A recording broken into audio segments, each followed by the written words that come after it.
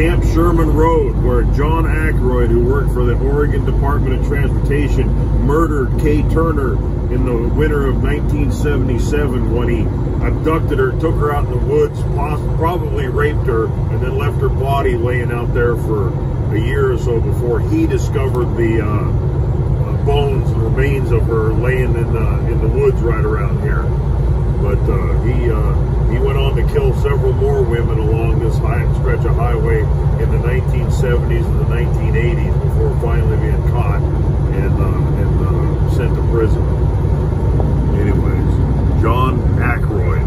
Look up the Ghost of Highway 20 if you want to uh, look at a really good documentary about the whole story. The Ghosts of Highway 20.